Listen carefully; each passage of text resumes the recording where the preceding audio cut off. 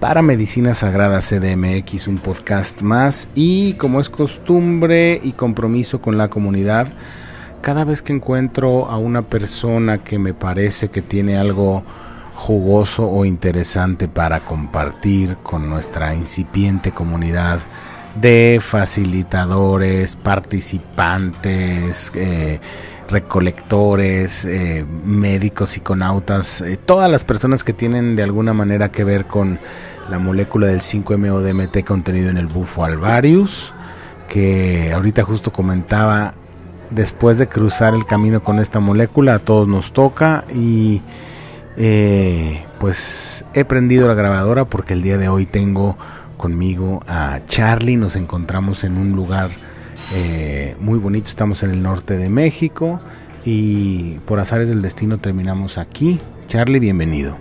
Hola, qué, qué gusto, maestro.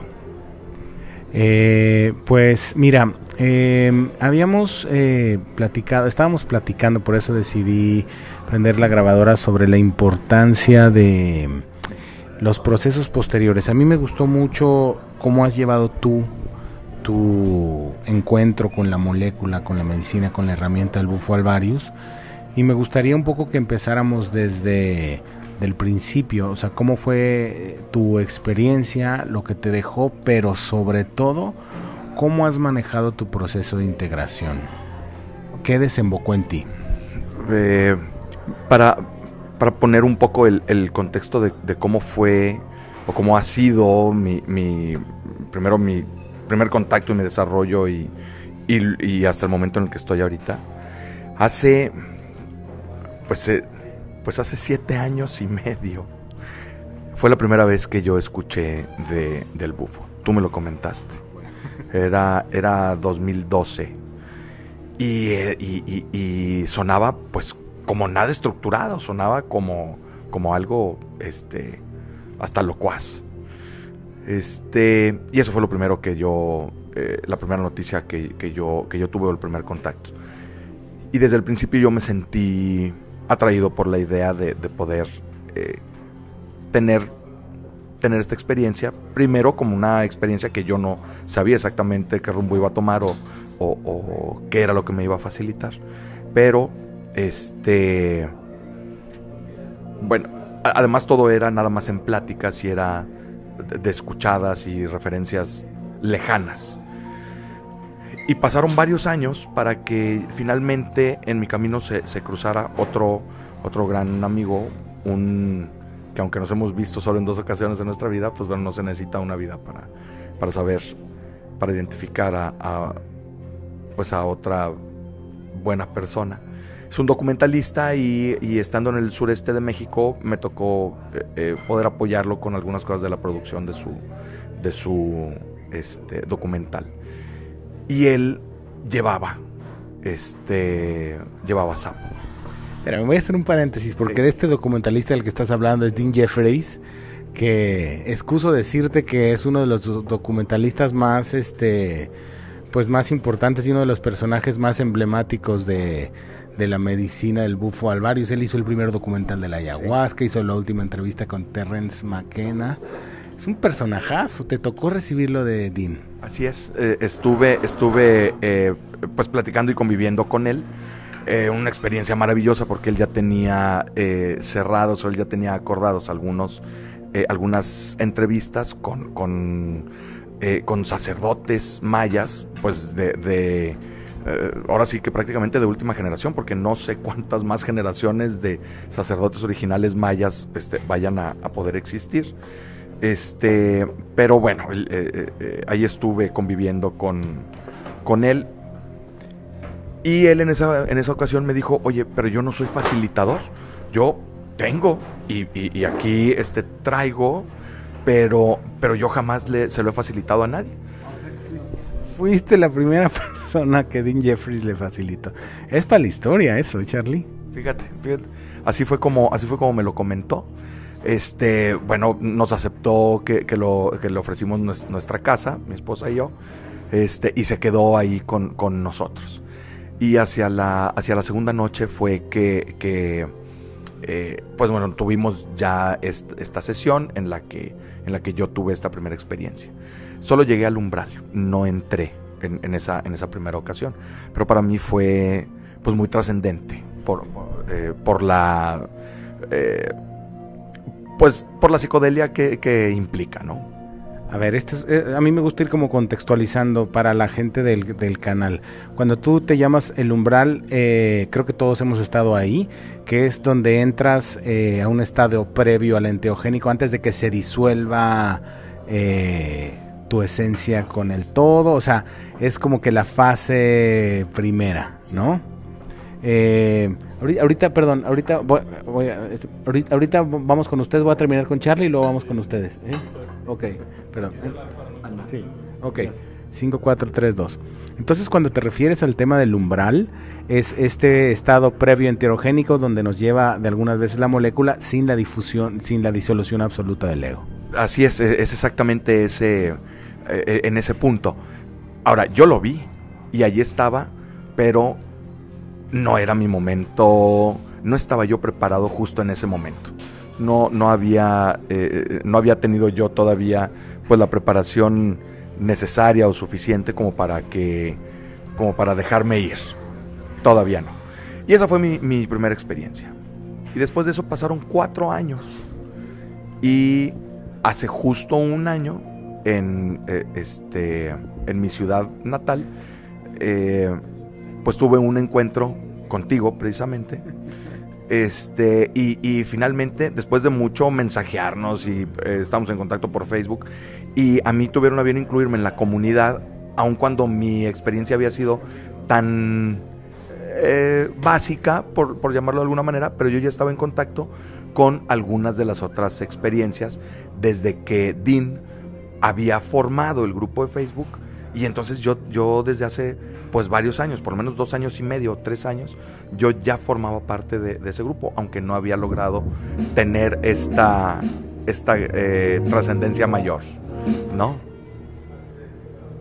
Y tenemos efectos especiales de fondo. Bueno, eh, eh, además de esos dos efectos especiales, este subrayar o seguir compartiendo que a partir de, de, ese segundo encuentro que tuve hace una o dos semanas más de, que un año, 54 semanas por decirlo de una manera, este, ahí sí me fui, este, pues, con, todo y me vino esta, esta interrupción del, del yo, esta conexión, logré, alcancé que se rompiera y entonces me vino la integración con la matriz divina y con el universo y con el gran ser. Eh, eh, voy a ir acotando los puntos, ¿no? Eh, esto que te refieres es lo que muchos de los participantes reportan como la disolución absoluta del ego, que lo hemos dicho 50 mil veces, es lo que le llaman samadhi, lo que le llaman el, el, estado de iluminación, que al final en términos muy sencillos y humanos es se nos apaga el lóbulo frontal izquierdo, brota la parte del espíritu, se apaga la mente y se tiene esta experiencia mística, por así decirlo, ¿no? La tuviste en tu segunda toma en mi segunda toma y que hubo prácticamente cuatro años de, distancia entre aquella primera vez con, con Dean y esta, esta segunda de hace un año aproximadamente. Bueno, eh, a, partir de, a partir de eso, yo tuve, yo he tenido durante el año, el año anterior otras cinco experiencias. Es decir, fue la primera muy lejana en el tiempo, y luego la segunda que fue la más, la más trascendental y luego otras cinco. En total han sido siete mis, eh, mis sesiones. Y eh, eh, he pasado por un, por un proceso que a mí, pues bueno, me, me satisface mucho y me gusta porque he tenido oportunidad de, de tener reactivaciones. En sueños, el 90% de las reactivaciones, pero también a la hora, a la hora que me estoy bañando, por ejemplo, y me viene una tos, y de estar tosiendo, entro en, este trance. Esto yo decidí grabarte por dos puntos, Charlie. Una, porque a mí me ha gustado la prudencia y de, aquí no hay leyes, este canal para nada dice esto es lo bueno ni esto es lo malo, pero la verdad es que sí tengo oportunidad de observar muchísimos casos y el caso tuyo es un caso que me vale, me, vale la pena que podamos transmitir por cómo lo has ido manejando y aquí solo se cuelgan ideas, ¿no? Entonces, eh, le fuiste dando eh, un espacio en el tiempo, pero también se disparó en ti esta parte que a muchas personas cuando no tienen guía, les asusta que son las reactivaciones. De eso no vamos a hablar ahorita, aunque salió a colación de alguna manera, pero esto de lo que tú hablas, una vez más acotando para el público, es lo que muchas personas nos llaman súper asustadas y estoy diciendo, estoy teniendo reactivaciones, ya me quedé loco, ¿no? O sea, eh, estoy teniendo flashbacks y estoy teniendo... Eh, eh, y cuando no hay una comprensión de lo que está sucediendo, pues se convierte en un problema porque es hay confusión, ¿no? O sea, esto desemboca en confusión y es importante aquí que también acotemos un punto. Tú tenías ya un cierto camino eh, de, de, autoconocimiento, de autodescubrimiento. O sea, de alguna manera, cuando tú te expusiste con prudencia a la molécula, yo sabía a quién se lo estaba dando, ¿no? O sea, yo sabía que tú eh, tenías un, un, camino, ¿no? Esto, cuando tú expones a un ser humano que no tiene absolutamente idea eh, de, los conceptos básicos que pueden ser esto, puede llegar a ser muy choqueante y muy traumático. Por eso, recomendación al público en general, hay una fase de preparación, ¿no? Em, y en este afán, lo he dicho 50 mil veces, a veces, como se ha vuelto un commodity de venta, eh, de repente tienen a 25 personas eh, en filita, en línea, y donde no se les explica nada y donde se les dice, oigan, esta es la medicina que te va a solventar la existencia, pero no es así. Ahondemos un poquito en ese tema. ¿Qué es lo que hizo que tu proceso evolutivo fuera positivo? ¿El pipazo o, la, o qué fue? Bueno, definitivamente tuvo algo que ver el pipazo porque detonó, porque, porque me hizo sensible a, algunas... Eh, ideas y algunas percepciones que, yo iba teniendo, pero me dio la oportunidad de, conocerlas en, otro sentido o de, darles una interpretación y de percibirlas pues como, como no, lo, no lo había podido hacer antes. Sí, en, la, en, familia eh, hemos participado en una escuela eh, asiática de manejo de energía universal en donde eh, bueno, hay, hay estudiantes de, esta escuela en prácticamente todo el mundo y entonces se hace oración conjunta mundial a la misma hora y entonces este, nos ayudamos y pues es algo, es algo parecido, por ejemplo, a la sanación con Reiki, que es otro, otro método, otra escuela, que con imposición de manos se puede sanar a, una, a, una, persona en lo físico y en lo espiritual. Entonces, eh, esto es básicamente de lo que va esta escuela de, manejo de energía universal. Entonces, yo, yo bueno, este, hablar de metafísica, hablar de energía universal, hablar de, espiritualidad de una manera muy humana y muy cotidiana y muy traída a esta dimensión, er, es, es, era algo, son conceptos que yo he manejado desde hace varios años y entonces el sapo me ha permitido tener esta interpretación nueva de elementos que yo ya conocía. Dos puntos. Eh, tú eres un tipo que ni se dedica al chamanismo ni a ese tipo de cosas, ¿no? Eso es algo que a mí me gusta, que tú también has cruzado con la molécula, continuado tu vida normal, la has enriquecido con la molécula. Y, otra, y otra, otro punto que, me gusta, que estamos tocando aquí, que lo he, lo he tratado con varias personas, Ay, cuando llega de repente la molécula a los místicos que han leído en los libros 50 mil veces cómo es la, disolución con la fuente, o, incluso los masones, o todo lo, lo ocultismo, lo que ellos leen en los libros, es lo que se experimenta en nivel práctico con la molécula. Sí, sí, eh, definitivo, es eh, eh, como que es el equivalente a, a ponerle palabras a un lenguaje que tú antes nada más sentías o que tú intuías. Entonces te está, te está permitiendo, eh, híjole, por contradictorio que pueda, que pueda parecer, pero es ponerte una brújula en la mano. Y si tienes estos antecedentes, entonces mm, aprovechar de mejor manera las oportunidades. Y pues una vez más, eh, yo cada vez que puedo hago hincapié en que esto no es un juego, es una experiencia Estamos hablando de probablemente la experiencia más profunda y poderosa que puede experimentar un ser humano sobre la faz de la Tierra, ¿no? El, esta, eh, esta separación de el yo, pues es, pues es equivalente a la muerte.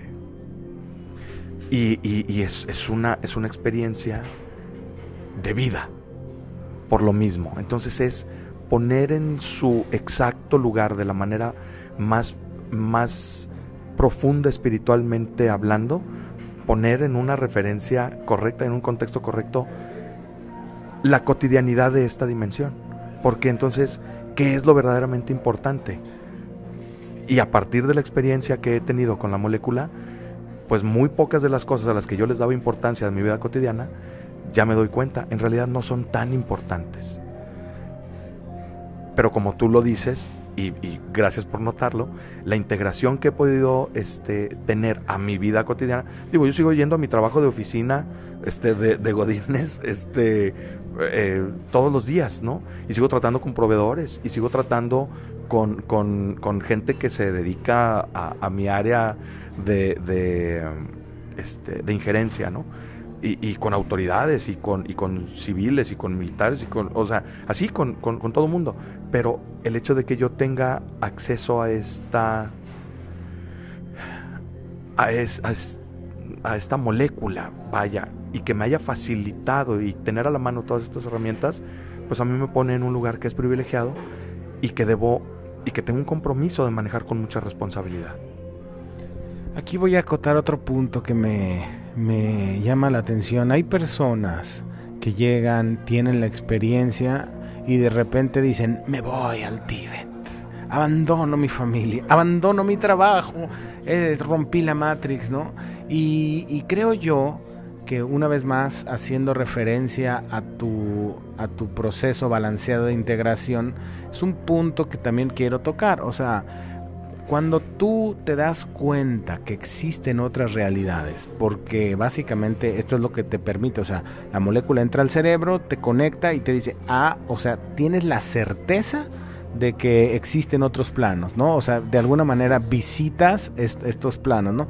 Pero esto en qué desemboca? En una confusión muy grande, que eso es algo que, a mí se me hace que ha sido un fallo profundo en, el modelo de pensamiento psicodélico, que es decir, la Matrix no existe y entonces nosotros somos seres de espíritu y entonces vamos a andar todos barbudos y vamos a, a, ser cochinos porque eso no importa.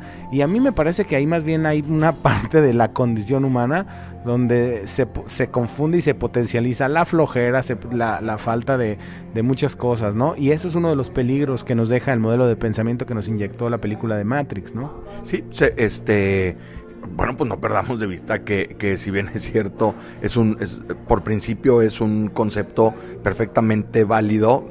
a mí no me parece gratuito que le hayan puesto The Matrix sabiendo que existe una matriz divina este, y haciendo referencia a que pues si todos venimos de ahí y todos vamos para allá y todos formamos parte de ella, sí, sí es cierto, nada más que de eso, a que sea una cortina, una cortina de números verdes que se difuminan en, líneas verticales y etc. Pues no, este, dista mucho de la, de la realidad. Este, quiero, este, quiero, pues sí subrayar el hecho de que no, no es que no sea necesario, sino que más bien a donde quiero llevar la idea es a que se potencializa lo que uno es y se abraza uno a uno mismo en el mejor de los casos, tal y como es. Entonces, este, pues yo siempre había sabido que yo era, este, pues, pues, así medio, medio rarón, ¿no? Con una personalidad que no todo el mundo entendía y, ah, bueno, pues así exactamente es como, como soy. Pero también soy una persona muy brindada y también colaboro y también, eh, este, eh, trato a todos por igual. Pero a todos, a todos, este, por igual. Entonces, este, el hecho de, de tener esa sensibilidad ha multiplicado lo que yo ya traigo desde, desde antes, ¿no? Podríamos decir también que uno de los, de los efectos secundarios que tiene la molécula es borrarnos, al apagar la mente, nos borra las programaciones de alguna forma, ¿no? Y es donde brota la como la misión y la esencia, donde justo en un, en un en una lectura que me mandaste decía a qué venimos eh, a esta vida, ¿no? Y eso es una de las cosas que se afinan.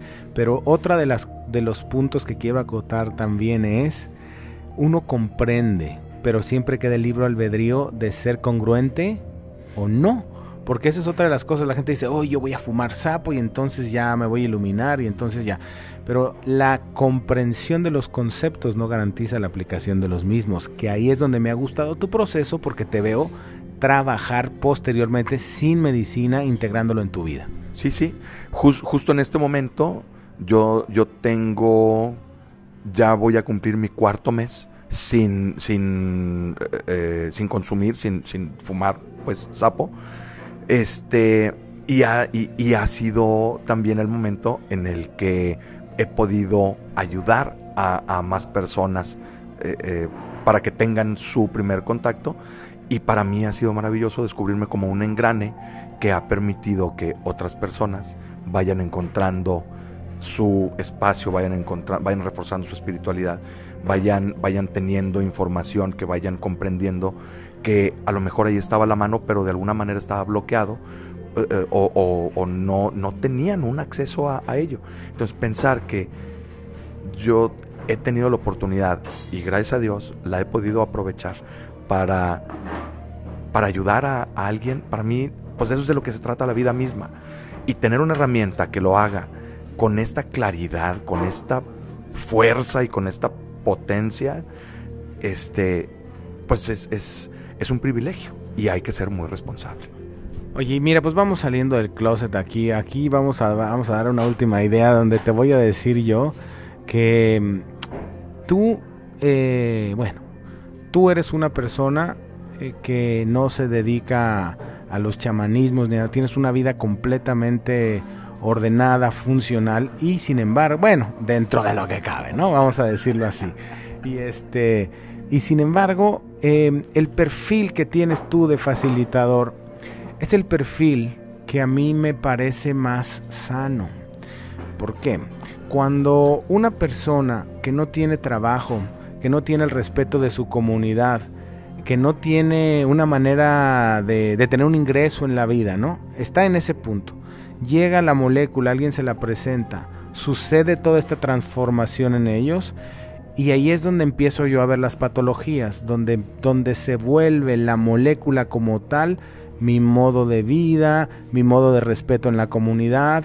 Entonces, digo así, hablando en serio, digo, pues vamos a hablar así. Yo te acerqué a la molécula, digo, vamos quitándonos, saliendo del closet. Y yo confío en lo. Y, aquí ni te estamos anunciando, porque no nos importa que, que, que des, o sea, sino el tema es tú eres un perfil de un facilitador de cómo yo creo que se tienen que hacer las cosas. Porque te lo digo, eres, un, eres una persona que tienes tu familia, que tienes tu trabajo y que tienes tú, pues, esta parte, yo no sé, lo que sea, donde estás ayudando a otras personas.